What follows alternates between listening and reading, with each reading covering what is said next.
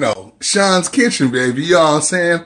I gotta come up with a name. You know, maybe y'all can help me. You know, Money Train Inn. You know what I mean? I don't know. Blackzilla Drive. You know what I'm saying? I don't know. I like Money Train Inn though. Anyways, you know what I mean? I make breakfasts each and every morning so I can fortify me and my soul and get myself going so I can get my walks in so I can burn it off and also my rides. So, you know, don't judge me because I like to grub in the morning, but in the afternoon, I slim it down, slim it down, slim it down, and I get a good night's sleep and I make shit like this. Oh, man. Oh, I mean? I got a little cantaloupe. I got some scrambled eggs and cheese, avocado, tomatoes. Got homemade hash browns, a little bit of swine. I know of the swine, but you know. Anyways, in the salsa, I really highly recommend Trader Joe's Salsa Verde. Oh my God, it's so good.